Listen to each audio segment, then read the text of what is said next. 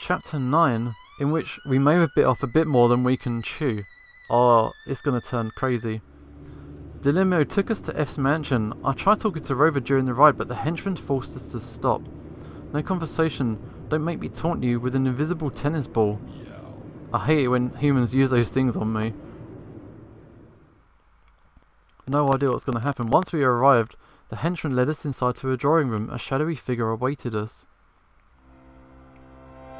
Who have we got? Whoa.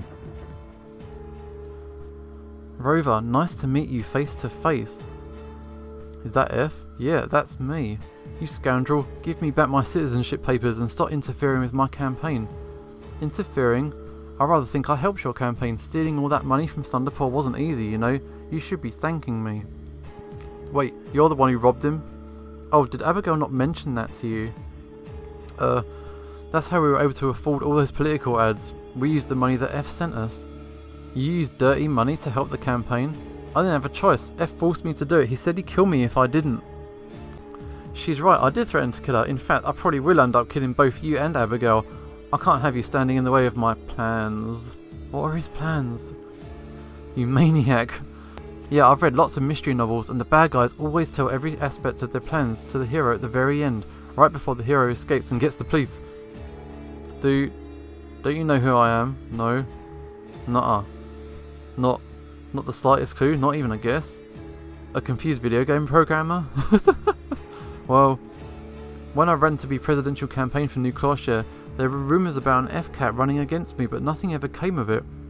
I figured that was you, but I don't know any more information. Yeah, that's me, and no, it's not. I... All the effort I put into becoming an evil supervillain wasted. You two don't have any clue who I am or what I'm plotting. Henchman, turn on the lights. Who is it then? It's a doggy. Do you recognize me now? It's Fido. You're a dog. Not just any dog, my name is Fido. My half-brother? Hold on a second, you can't just introduce a new relative at the end of a mystery when he's never even been mentioned until just now. That's totally cheating. This isn't a mystery novel though, and you didn't mention me at all to your campaign manager Rover. Why did you do that? I haven't heard from you in years, and besides, I kind of mentioned you. I said that my mum moved the entire family to America when we were pups. Oh yeah, you did say something about that, but you should have mentioned your half-brother is a weird black man psycho. I'm not a psycho, I'm trying to get justice for dogs everywhere, and the only way to do that is if I become president. How, you're not even in the running. You ran unopposed in New Clawshire, what happens if you drop out of the presidential race? New Clawshire has no candidate to represent it. Normally that would be true, but I found a lo loophole in the law. If Rover resigns from the race, he can pick a replacement to take it. So that's your plan, you want me to resign and pick you as my replacement? If you don't, I'll work my legal magic and come up with a replacement automatically because I got like five different people to vote for me as a writing candidate. That makes me the second place winner of New Clawshire. I understand your evil plan now. You'll take over for me as the New Clawshire candidate and ride on my success to victory. Yeah, I shall be president no matter what. And you, you killed Rover's previous campaign manager. That was a mistake. I made some adjustments to my plan since then. She was a living person and you killed her with paperclips. You're a monster. And I'll let you take my place as New Clawshire's candidate. Never. Have it your way. Henchman, send the email I'll write to all the major news networks. You can't. That will ruin the campaign. He's going to ruin the campaign no matter what, Abigail. I refuse to cooperate on his terms. Send the emails. What's going on? Tick tock, you two. Make a decision. Let's trick him. You may think you hold all the cards, but you don't. You don't have all the information yet. Oh, what don't I know? For starters, you don't know that Rover is my husband, right? Husband? Oh yeah, yeah, we went to Paws Vegas and got a drive-through wedding. Now I'm legally an American citizen by marriage and by naturalization. You can't use the Born in Dagonia loophole to ruin my campaign anymore. Yeah, and besides, aren't you from Dagonia too? That rule should apply to you as much as it applies to him. Curses, but there's still the fact that you're a dog pretending to be a cat. I'm legally a cat and not a dog, and that's due to those legal loopholes that you seem to love so much. Yeah, he wasn't lying about his species, he really is registered as a cat. What? No, I refuse to let some quickie marriage stop me from becoming president. You want to be president? Here's a presidential joke for you. It comes straight from Abraham Lincoln. How many legs does a dog have if you call the tail a leg? Five. Four. Calling the tail a leg doesn't make it a leg. Just like how calling you a candidate doesn't make you one. Well, this is why you're my least favourite relative. Very well. If you won't cooperate, and if you have the legal work fixed, which I doubt, you leave me no choice but to kill you. Release the attack dogs. what? This is this is getting out of hand.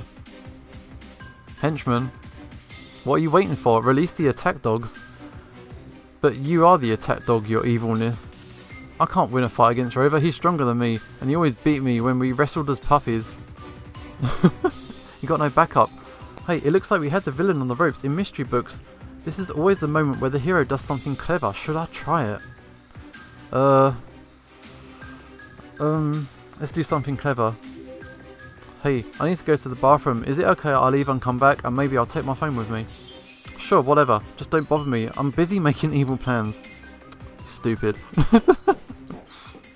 Let's just gonna sneak out to the toilets. I went to the bathroom and called the police. Within 15 minutes, Fido and his henchmen were arrested for kidnapping us and for murdering Diana.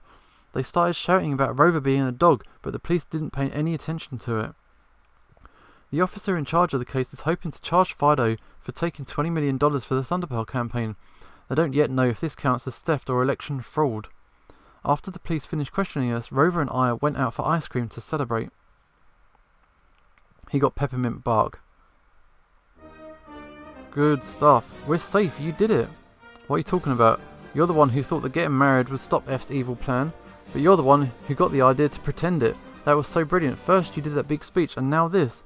How do you handle yourself so well under pressure? I don't know, I just do I guess. I knew I couldn't let them hurt you, so I had to do something. You saved my life, and I will love you forever for this. Thank you, Abigail. Rover got up on his hind legs and licked me on the face over and over. It was adorable. Isn't Rover the cutest doggy ever?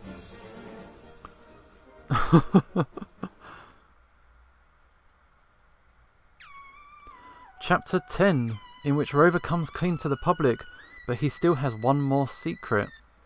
Well, he goes nothing. You sure you want to go through with this? I'm sure. What happened yesterday convinced me that I have to tell the truth. In the giant press conference, though, it's like taking off a bandage. You want to get it over with one clean pull. Uh, I admire your bravery, Rover. I wish I could be a, as brave as you are. Funny, I was thinking that you would make me a braver dog. I hugged Rover, then I watched as he stepped out in front of the cameras. Oh, is he going to reveal himself? Hello, ladies and gentlemen of the press. I have asked you to come here tonight because I have an important announcement to make. I'm not the candidate I have made myself out to be, not entirely. I spent a good deal of my campaign talking about the problems with the Dagonian immigration system. The truth is, I have first-paw experience of these problems because I am from Dagonia. Oh, is that shock? My family moved here when I was very young, and they applied to me to become an American citizen, but there was a problem. The immigration officer accidentally put down the wrong species on the paper. I am a dog, and I have always been the dog, but according to law I am a cat. I'm in the strange position of being both a dog and a cat at the same time. I've been running for the president as a cat, because there's never been a dog president. I believe that with the help of the voters this will change. This will bring equality and fairness to the country.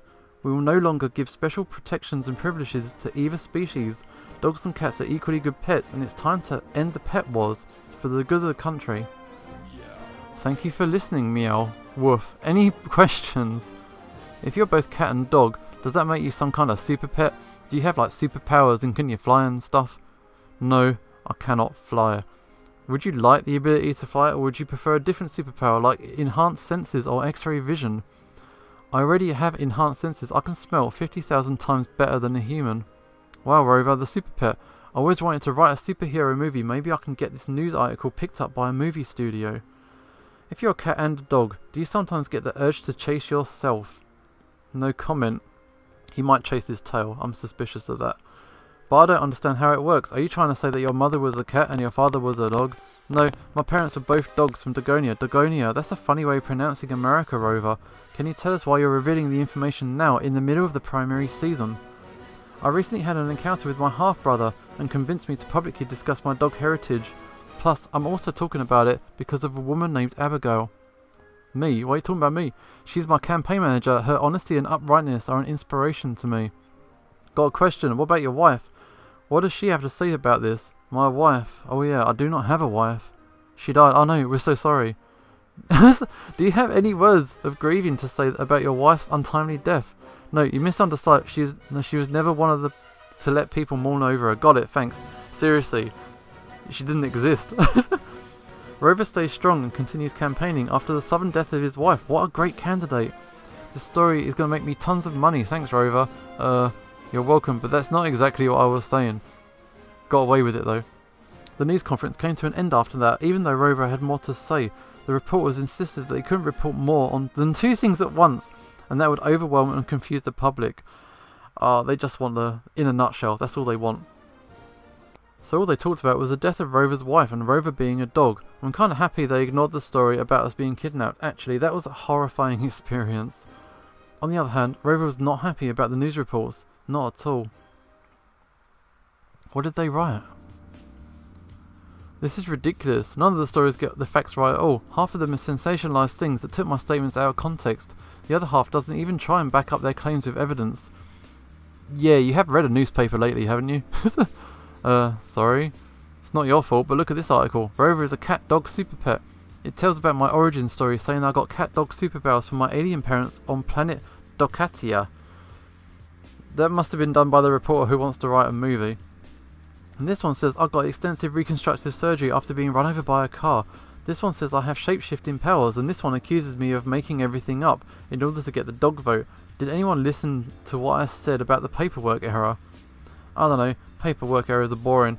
I guess it's more fun to pretend that you're a new type of animal species. I prefer it if they reported the truth. I was trying to make a statement about immigration policies and legal issues, not a statement about cats and dogs fusing together.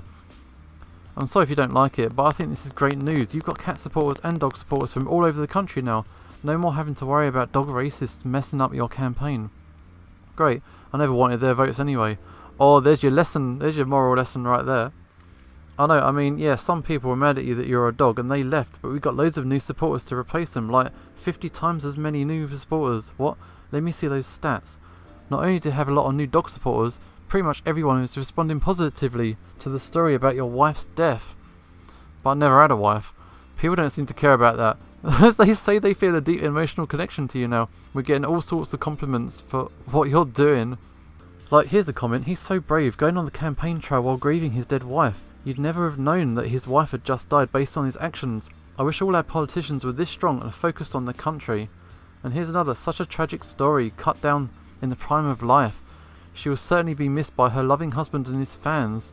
We are always here for you, Rover. And that's not the point. The point is I don't have a wife. I never did. I'm not grieving her death because she didn't die. She's fictional. I know, it's weird. But people are super sad she died in a fire hydrant accident. A fire hydrant accident? That's how people think she died. Very sad if you ask me. I can't handle it. Now I've got to hold another press conference to tell everyone the truth about my wife, or they get mad and say I was lying to them. There's no winning with this. I think you've already won. You have more voters than ever, since everyone knows you're single now, and people are surprisingly okay with the idea of a dog running for president. I guess you're right. Thank you for being positive while I'm just complaining. No problem. That reminds me. Earlier, you said that my honesty and uprightness are an inspiration. Did you really mean that? Of course I did. I lied about my identity as a dog, but you, you always tell the truth. That's really good of you. I wish I could be that good. Let's accept the... Yeah, don't patronise him. You're being too nice. I'm not that good. I mean, you're just as good as I am. Really? Yeah, that's why voters are responding to you. They say that you're an honest candidate who's not afraid of admitting their mistakes. And the truth is... Oh, I'm really proud. You did a great job with the press, even if the news reports weren't what you expected. Thanks, I feel a lot better now. Sorry for complaining so much earlier. That's okay, we're a team, right? We stick together through good times and bad. I want to talk to you about that, actually. I mean, about us. What's that? Now that everyone knows I'm single, and that trick where you pretend to be my wife, it got me thinking. What's that?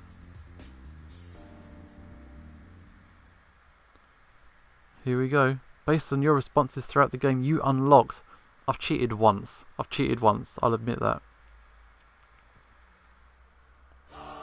Good ending. That's all good. What is it, Rover? I was thinking that you might actually be a good wife. You what? Did I offend you? I'm sorry, I'll take it back. Forget anything I said. No, I'm not offended, I'm just surprised. Do you think I'd be a good wife? Of course, you're a good person, and the qualities you need to succeed in life are the same qualities you need to succeed in marriage. But my parents always told me that love is all you need to make marriage work.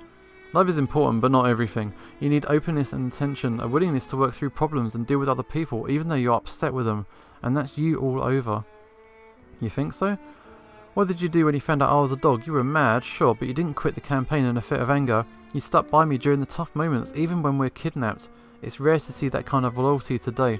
And dogs, dogs do like a bit of loyalty, let's, let's face it.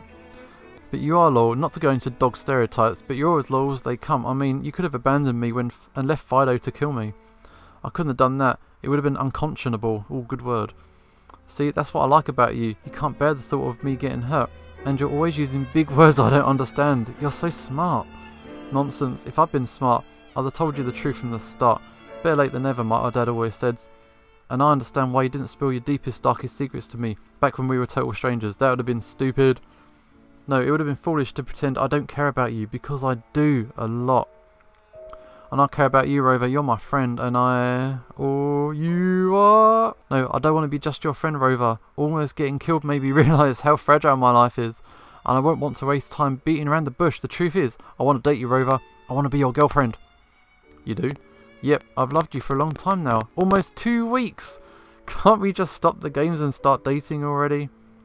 Oh, no. No? no.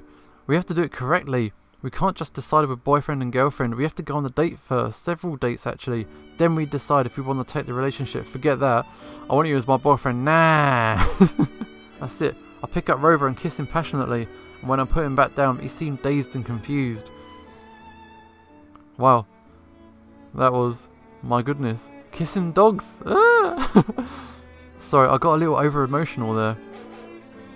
Oh, kissing on the first date? It's going to be a, a, a, tumultuous relationship.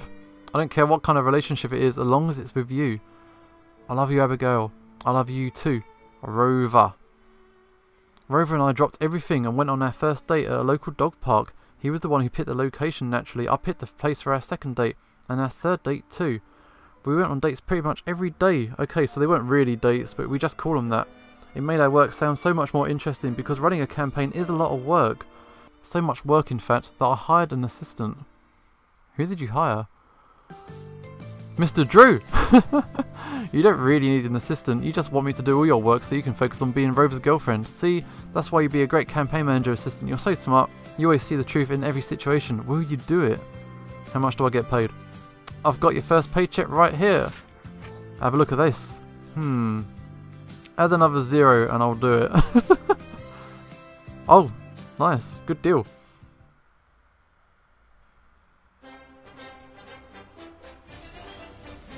Mr. Jude took over as campaign manager after that, which is fine by me. I didn't really do all that much campaign manager work anyway.